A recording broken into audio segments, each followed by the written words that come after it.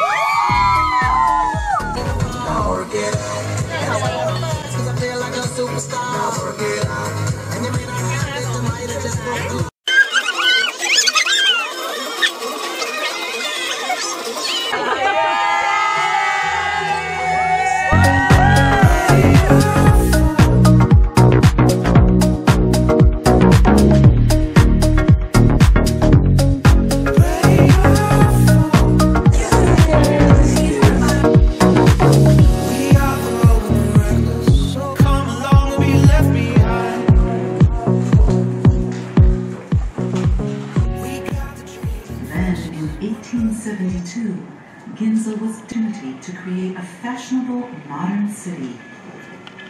Thing, not fake thing, but real in many, in terms of many different, you know. Mm,